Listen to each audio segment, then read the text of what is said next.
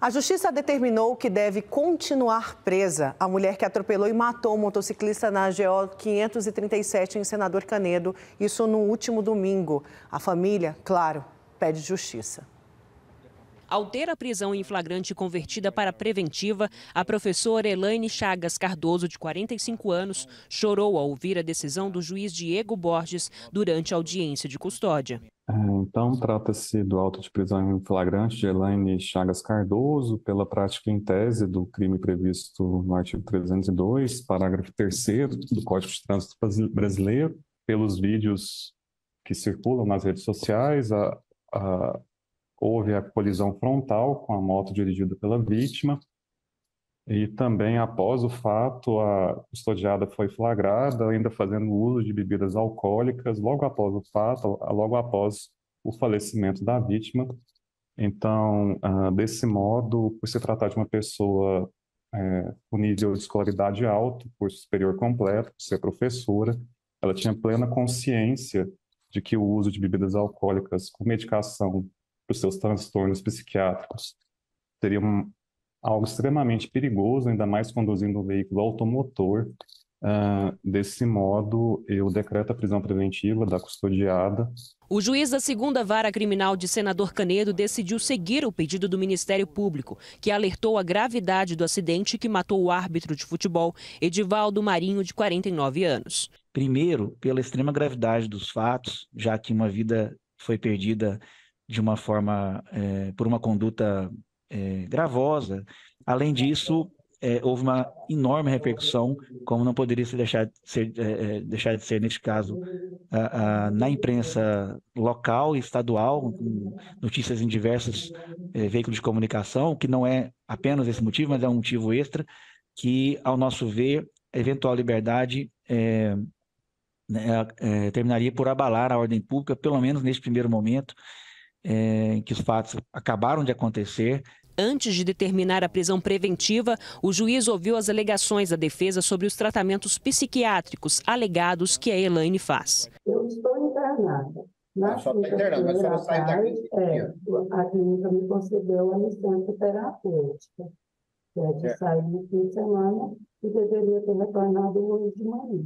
E ela mesmo contou quais os transtornos e doenças que foi diagnosticada. Eu faz tratamento desde 2007 de depressão, é, transtorno de humor, bipolaridade, ansiedade, crise de burnout, e de 2007 até hoje vem alternando entre internações e liberações. Ah, certo. Formando total de seis internações nesse período. Para que a mulher não fique sem o tratamento necessário, a Justiça solicitou que o presídio forneça todos os remédios necessários enquanto ela estiver atrás das grades. Elaine será investigada pelo crime de homicídio culposo com agravante por dirigir embriagada. Se for condenada, pode pegar de 5 a 8 anos de prisão, além de ter o direito de dirigir suspenso ou proibido.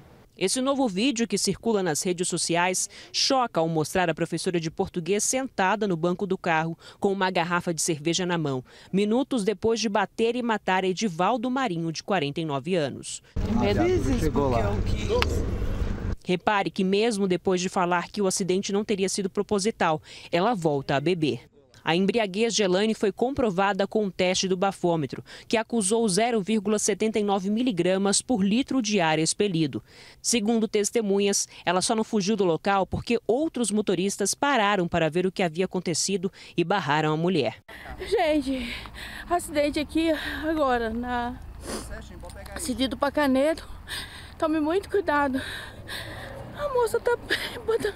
Ela matou o motoqueiro. O acidente aconteceu no domingo, ao meio-dia, no quilômetro 3 da GO 537, no Jardim das Oliveiras, em Senador Canedo. Câmeras de segurança gravaram o exato momento em que o carro de Elaine invade a pista contrária e bate na moto dirigida por Edivaldo. Ele estava indo apitar dois jogos de futebol. De repente eu recebo a notícia, meu primo, me falando que ele tinha sido atropelado. Só que a gente não estava entendendo a gravidade e, e, os fatos realmente do que, que tinha acontecido. E eu cheguei lá na hora. Ele estava lá no chão. coberto de papelão, mas aí na hora que o ML pegou ele, que a gente viu, estava tudo arrebentado. Ela já não estava mais lá, a condutora do outro veículo. E a gente foi sabendo do que aconteceu e e daí para cá foi só pesadelo. Edivaldo também era enfermeiro, mas largou a carreira para cuidar da mãe, que agora chora e pede justiça pela morte do filho. Ele abriu tudo de coisa da vida dele.